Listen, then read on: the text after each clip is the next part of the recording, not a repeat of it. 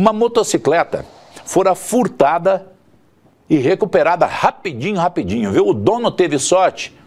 Teve, teve sim, senhor. Mas eu acho que ele teve mais inteligência do que sorte. Sabe por quê? Porque escutou a gente falando tantas e tantas vezes, né? E colocou o Satitrack.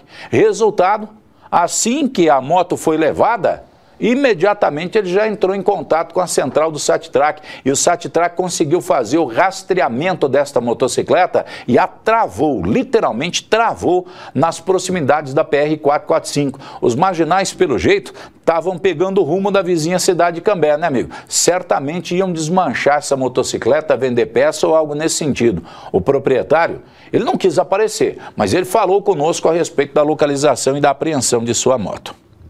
Marginal da PR 445 com a Avenida Arthur Thomas e uma motocicleta CG Fan foi recuperada aqui. Ô Jean, essa moto foi furtada ali na área do Jardim Bancário? Isso, ali na Samuel Moura. Ali.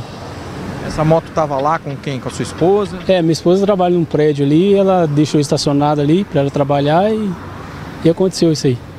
Aí deu alerta para você da ignição porque tem rastreamento? Isso, tem rastreamento. O rastreamento deu alerta para a gente de ignição, a gente foi verificar e a moto não estava no local. Agora você acabou encontrando aqui no local, acionou os policiais? Isso, eu acionei o rastreamento, né, o serviço de rastreamento e posteriormente a polícia. Aí encontraram ela aqui. Você acha que se não tivesse o rastreamento da Sattrack você teria encontrado essa moto? Ah, não achava, ia ser difícil, complicado. Você já pagou a moto? Tá quitada, graças a Deus. Mas o valor é alto, né? É, não dá para facilitar, né? Não pode brincar de serviço, não, né? Não, não pode. Tem que ter um rastreamento. Tem que ter. É bom. Porque se não tivesse, dificilmente ia encontrar, né? E a moto tá inteira aqui? Tá inteira, só tá com o miolo ali da chave estourado, né? Que eles enfiaram a chave de fenda, provavelmente. E o resto tá inteira.